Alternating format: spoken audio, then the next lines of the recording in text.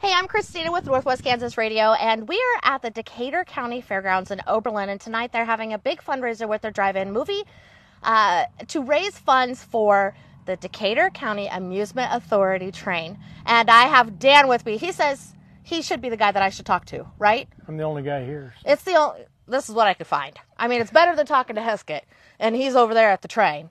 So tell me, what, how old is this train? It's so cool. It was built in 1979, delivered in 1980 here So it was built somewhere else in Strasburg, Colorado. in Strasburg, Colorado. How, and it's been running every year for the fair, Yep. and it just goes clear around the fairgrounds. Yep, five eighths of a mile track. Five eighths of a mile. So how, tell me, like, how does it run? Like on gas? It's gas driven. it is. Yes. It is. And how many people will hold on it at one time? 20 people in the cars and as many kids as you can cram in the caboose. As many kids as you can cram in the caboose. so you just jam them all in there, Yep. right? Yep. So this is a really cool and unique. Is there anything else like this close to here?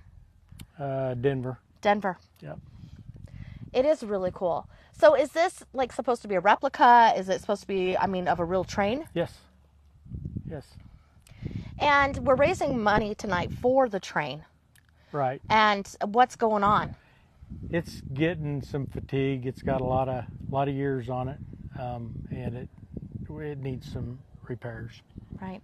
So this has been going for so long. I mean, I could see, you know, generations of kids and their kids, Yes. and then even maybe their kids, yes. you know, I'm the have been on second generation of engineers on it. You're the so, second yeah. generation of engineers. So, um, you know, I think it is probably something that's nostalgic for people. So why wouldn't you come out here and, you know, come see a great movie tonight? That's right. Um, come eat some good food. Did you hear about the good food? You bet. Are you having any good I, food? I'm ready. I'm ready too. My stomach's hungry. Yeah. Bacon cheeseburgers, funnel cakes, limeades. Um, I heard they're gonna have some hot chocolate for when that sun goes down. Uh, so it's all right here at the Decatur County Fairgrounds, and the doors open right now. And Dan would love to talk to you about the train. You can come up here, get pictures on the train, um, which you know, I mean, I think we'll do. Why not? It's our one time to get on the train, That's right. Climb all over it. right? all right, so come on out, and uh, it's a suggested donation of twenty five dollars and uh, we'll get you in here and come into the north side if you're coming to the movies. If you just want to do food, which those proceeds will also go back to the train repair, uh, you can come on the south side of the fairgrounds. All right, we'll see you tonight.